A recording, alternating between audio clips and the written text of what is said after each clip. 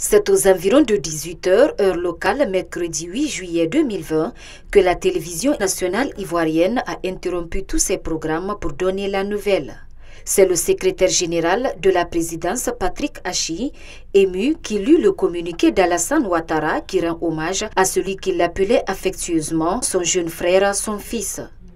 Amadou Koulibaly a eu un malaise à l'issue du Conseil des ministres mercredi après-midi à la présidence. Il est mort à la Polyclinique internationale Sainte-Anne-Marie à Cocody peu après son évacuation. Amadou Koulibaly était âgé de 61 ans et souffrait de problèmes cardiaques. Il s'était rendu en début du mois de mai à l'hôpital de la Pitié Salpêtrière à Paris pour un suivi médical suite à une greffe du cœur subie il y a huit ans. Amadou Koulibaly était resté deux mois en France.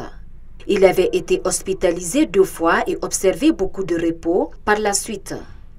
Il était revenu vendredi dernier à Abidjan.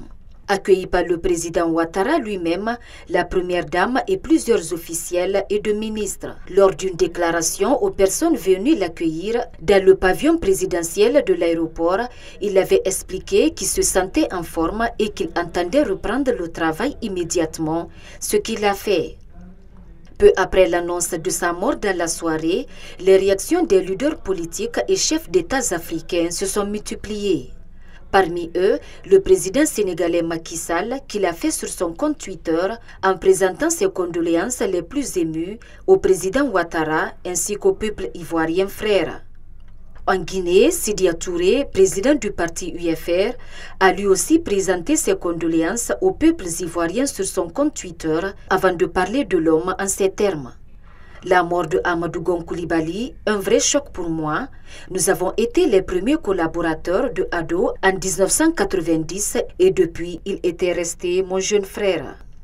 Cadre brillant, d'une honnêteté et d'une fidélité à toute épreuve, il était de cette nouvelle génération tant souhaitée en Côte d'Ivoire, paix à son âme. Amadou Koulibaly était choisi par le parti présidentiel pour succéder à Alassane Ouattara lors des élections présidentielles d'octobre 2020 en Côte d'Ivoire.